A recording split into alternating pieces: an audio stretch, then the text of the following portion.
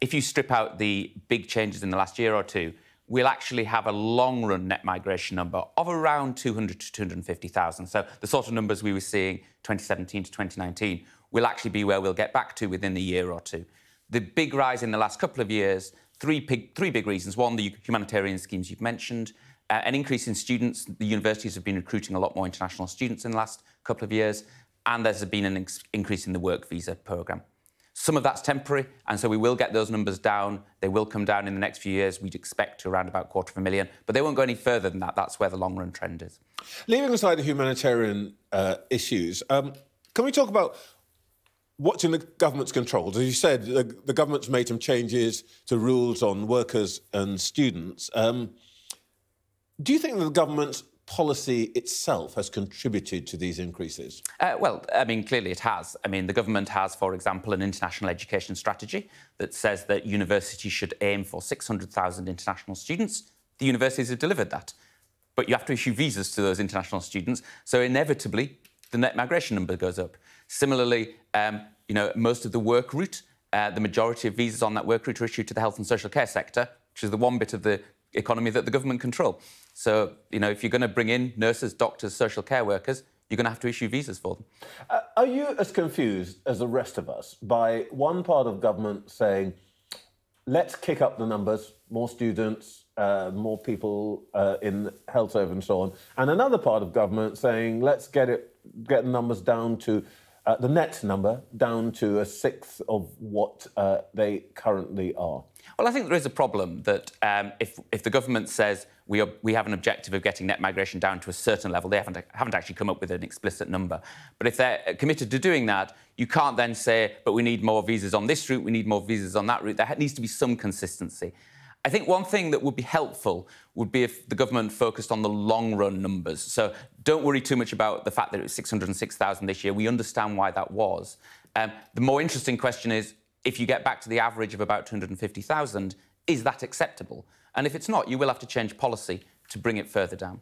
Oh, that's interesting. So, for example, you might think of a metric that looks like I don't know, a three year or a five year rolling average as the way of understanding what's happening. Yeah, I mean, in some sense, that's exactly what you need to do because otherwise you come up with perverse policy. I mean, everyone supported the humanitarian schemes for Ukraine and Hong Kong. I don't think a single politician spoke out against it. Well, that inevitably resulted in a couple hundred thousand extra visas. It would be bizarre if our policy response to that was let's instantly slash some other part of the immigration system for that temporary increase. Let's think about the longer term and the more sort of stable position that. They, so one change might be the way in which we, uh, the headline figure. Uh, which uh, the government uh, advertises. Yeah, so indeed, you could. I mean, you know, there's nothing to stop um, the Office of National Statistics publishing a range of numbers, and they could publish numbers trying to strip out, for example, temporary factors to see what. A bit like in inflation, we often look at the core inflation rate to focus on what the underlying inflation trends are rather than the headline rate. There are a couple of um, peculiarities in the numbers which I've looked, I've seen, and other people have picked up on. Um, for example, there are more Nigerian dependents of students than there are actual Nigerian students. Now, of course, you know, any student might bring partner and uh, a child, but it does seem quite an odd balance. So there's been a big change uh, in the last couple of years, and the government have obviously focused on this in their policy announcement this week. Um, I think part of it is probably the type of courses that students are choosing to do. So I think some of the expansion that we've seen are in one-year master's programmes in more vocational areas. And that's likely to bring in an older um, demographic than a, you know, a, a, straightforward master's degree that's more academically focused. So perhaps it's more not surprising that they're more likely to have families with them. Okay. The other thing which I was um, uh, as interested, I, I, did not know this. We include Brits coming back to the UK uh, in these numbers, the 1.2 total who are coming in, and so on. Um, and they account actually for 8%, uh, one in 13 of the numbers. Um, does that make sense? Well, it makes sense to count them because net migration is trying to measure whether the population is going up or down. And if more Brits come back from abroad than go abroad, that is increasing the population. So it's right to include them. I think it would be probably more sensible if, when we're thinking of policy, to forget about that group, because I can't believe there's any minister in any political party that's going to start legislating against freedom of movement of British people into Britain. Let's talk about what is actually possible. Government says migration is too high. Um, the opposition, we don't not quite sure what they but they think, but they certainly don't want it to be higher. Um, do you think it is actually possible uh, by an act of will to bring down these num- numbers by more than an, a, a, sort of you know, accidental number? To say reduce them by I don't know, 100,000, 200,000, quarter of a million?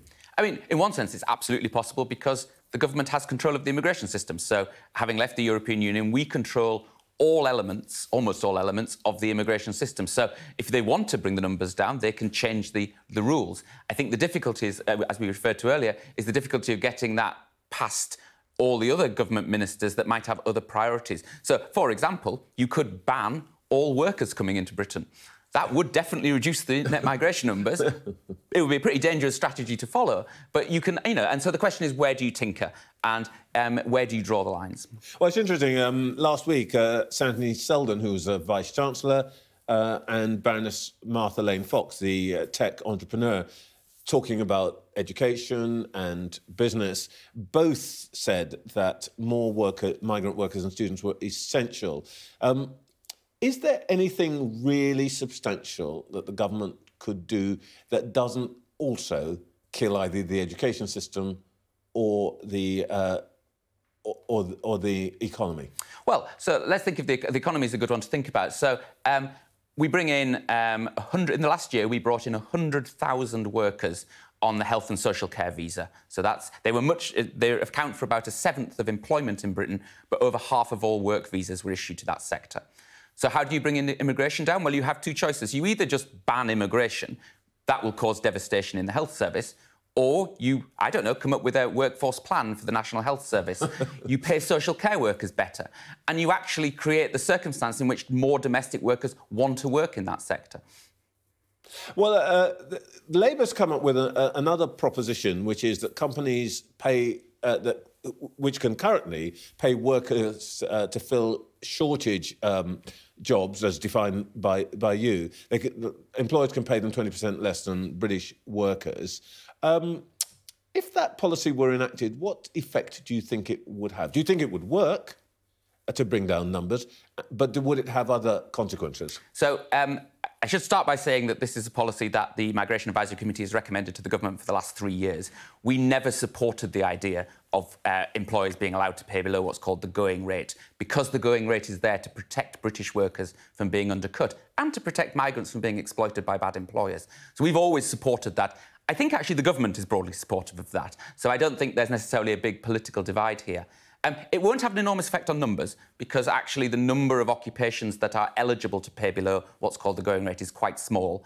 And even when they're able, eligible to do so, our numbers suggest that about 85% of jobs aren't actually filled below the going rate. So, so it won't change the net migration numbers really very much at all. What it'll do, though, is protect British workers and protect migrants, and that's important in and of itself.